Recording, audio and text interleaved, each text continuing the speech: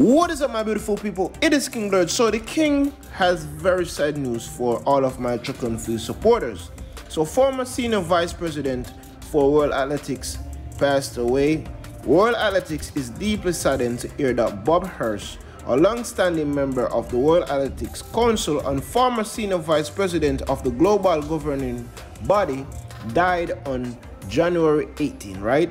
And he died at age 82. So this is from January 18. You can say, oh well, this is a good time ago. But reason why I choose to highlight this is that many persons do not know of this. I'm, I can guarantee you, most of the persons who's watching this video do not know of this, right?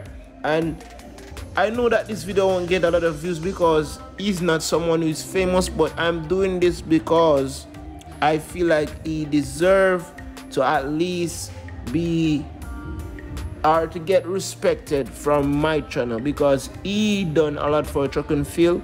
And you know that I'm a part of track and field. He paved the way for a lot of new development so I feel like he deserves my respect on my channel. So rest in peace to him and may he be blessed.